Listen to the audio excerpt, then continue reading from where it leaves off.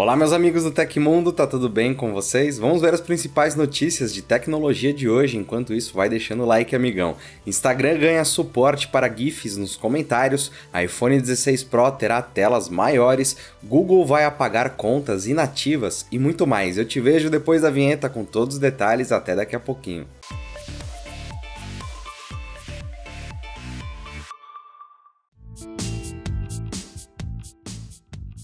O Tecmundo vai lançar nesse domingo às 19 horas o um novo episódio de Realidade Violada, chamado de Central do Crime. Você vai entrar no mundo do cybercrime e entender como ele funciona em todos os detalhes. Não vamos dar spoilers, eu te espero no domingo, hein? Não vai perder. E você pode ir assistindo ao trailer para esse esquenta. Há quatro meses do possível lançamento da linha iPhone 15, já começam a pipocar notícias sobre mudanças que poderão chegar no iPhone 16. Até agora já se falou no tamanho de tela, que viria com 6,9 polegadas no modelo Pro, além de uma suposta introdução de botões ápticos que respondem ao toque através de uma leve vibração. Na terça-feira surgiram mais rumores, dessa vez por meio do analista Ming Ki Kuo, especialista em Apple, que compartilhou suas descobertas sobre os futuros iPhone 16 16 Pro e 16 Pro Plus. Ele deu ênfase às telas e às câmeras dos novos dispositivos. O analista de mercado da TF International afirma que o modelo Pro oferecerá uma tela de 6,3 polegadas, ao passo que o Pro Max virá com uma tela de 6,9 polegadas. Isso significa um acréscimo de 0,2 polegadas, ou pouco mais de meio centímetro quando comparado às dimensões dos atuais iPhone 14 Pro. Uma primeira consequência do aumento do tamanho das telas é que os engenheiros da Apple poderão incorporar novos modelos de câmera. Ming Chi Kuo confirma isso e informa que o iPhone 16 Pro terá uma lente periscópio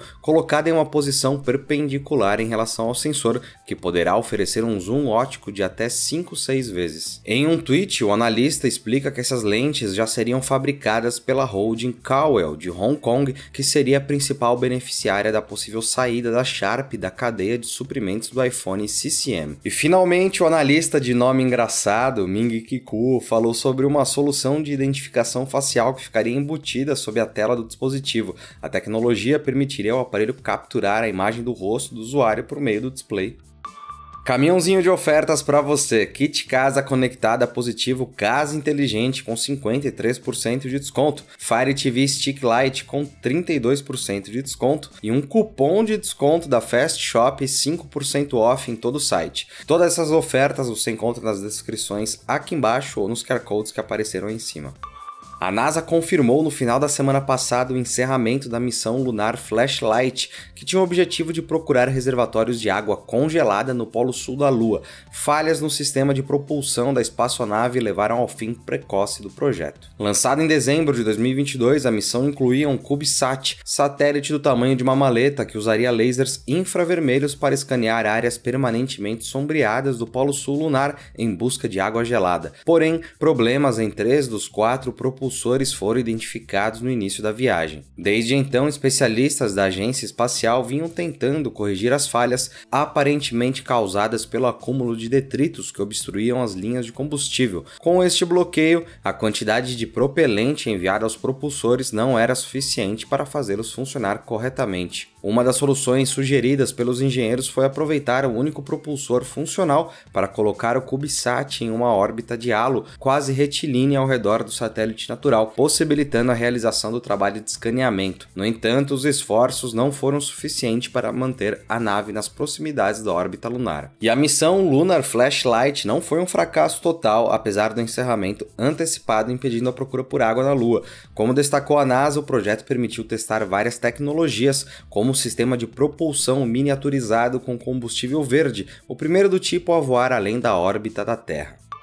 Um ex-funcionário da Apple foi acusado formalmente pelo Departamento de Justiça dos Estados Unidos de roubar segredos comerciais da divisão de carros autônomos da maçã. Conforme a denúncia divulgada na terça, o antigo contratado fugiu para a China após acessar os documentos. Identificado como Wei Bao Wang, o engenheiro foi contratado pela dona do iPhone em 2016. No ano seguinte, ele aceitou a oferta de emprego de uma empresa chinesa para atuar no desenvolvimento de carros autônomos ao mesmo tempo em que trabalhava na Apple. Passaram-se quatro meses até que Wang informasse a gigante de Cupertino sobre seu novo trabalho e pedisse demissão, tempo suficiente para ter acesso a informações privilegiadas sobre o projeto da marca. Após descobrir o roubo, poucos dias antes da sua saída, a empresa denunciou às autoridades. A residência do ex-funcionário em Maltonville, na Califórnia, foi revistada em junho de 2018, onde os policiais encontraram grandes quantidades de arquivos pertencentes à Apple. Mas logo após a busca, Wang comprou uma passagem e fugiu para a China, de acordo com a investigação. Esse caso mais recente é o terceiro relacionado a roubo de arquivos confidenciais do projeto de carro autônomo da Apple, cujo lançamento está sendo planejado para 2026. Em agosto do ano passado, Chao Long Zheng se declarou culpado pelo acesso não autorizado aos segredos comerciais da Big Tech, enquanto Jis Zhongchen ainda terá seu julgamento marcado. E a Google anunciou que a partir de dezembro de 2023 vai começar a deletar contas com dois anos ou mais sem uso. A exclusão afetará o Gmail e outros serviços do Workspace, como Docs, Drive, Meet e Agenda, YouTube e Google Fotos. De acordo com a empresa, a nova política se aplicará apenas a contas pessoais e não afetará contas de organizações, como escolas ou empresas, ou contas com assinatura Google One. A gigante de Mountain View defende que a medida tem como objetivo de ampliar a segurança na internet. O Google afirma que contas abandonadas são vulneráveis e podem ser usadas por agentes mal intencionados para diversas ações, desde roubo de identidade até disseminação de spam. A exclusão das contas será feita em fases, portanto, não será um processo instantâneo. Além de o apagamento das contas começar somente em dezembro de 2023, serão excluídas primeiras as contas que foram criadas e nunca mais usadas. Os usuários serão notificados nos meses anteriores, tanto no endereço de e-mail da conta do Google quanto via e-mail de recuperação. A Google ainda indicou o que pode ser feito para que os usuários não tenham suas contas finalizadas, lembrando que só serão afetadas as contas que estão inativas, não tiveram nenhum login nos últimos dois anos. Para manter o acesso aos serviços, é possível realizar as seguintes ações: ler ou enviar um e-mail, usar o Google Drive, assistir a um vídeo do YouTube, baixar um aplicativo na Play Store, usar a busca do Google, usar o login com o Google para fazer login um aplicativo ou serviço de terceiros. No caso do Google Fotos, é preciso fazer login e ficar online no Google Fotos em dispositivos Android, iOS ou na web, acessar a galeria armazenada em backup, compartilhar uma foto ou um vídeo e mais são outros passos para não perder a conta.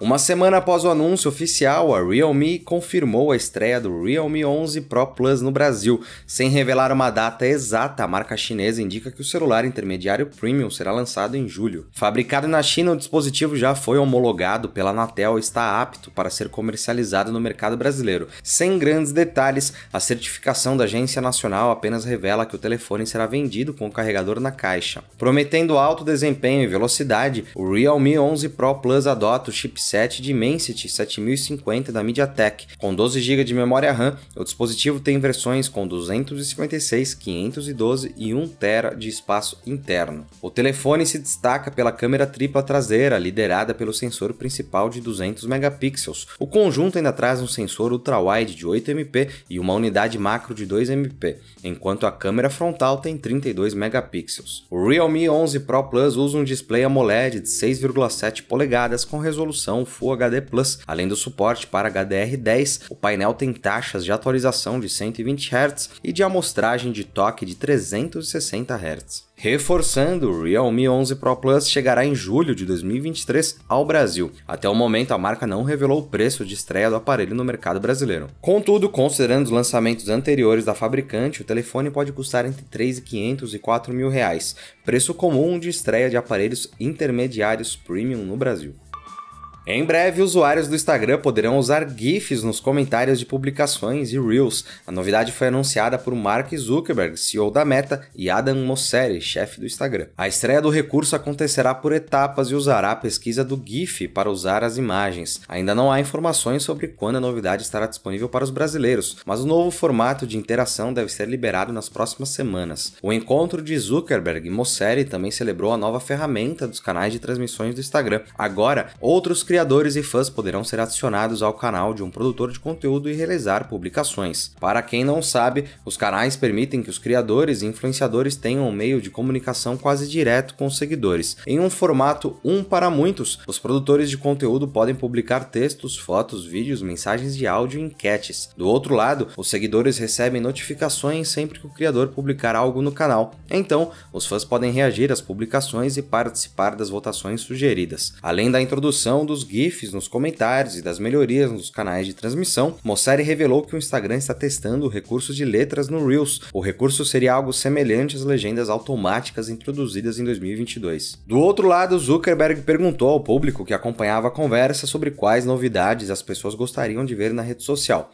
Curiosamente, o próprio CEO da Meta sugeriu a inclusão de chatbots e o uso de IA para geração de imagens. E aconteceu na história da tecnologia. No dia 17 de maio de 1943, o Exército dos Estados Unidos e a Universidade da Pensilvânia assinam um contrato para desenvolver o ENIAC, que se tornaria o primeiro computador totalmente eletrônico do mundo, fazendo uso de tubos de vácuo em vez de interruptores eletromagnéticos. O Exército queria usar este computador para calcular tabelas de tiro balístico na Segunda Guerra Mundial. E se você gostou do nosso programa, pode ajudar muito a gente mandando um valeu demais aí embaixo. Todos os links estão no comentário e descrição. E essas foram as notícias do Hoje no Tecmundo dessa quarta-feira. O programa vai ao ar de segunda a sexta, sempre no fim do dia. Aqui quem fala é o Felipe Paião e amanhã tem mais. Você pode me encontrar lá no Twitter pela arroba Felipe Paião. A gente se vê amanhã. Um grande abraço e tchau, tchau.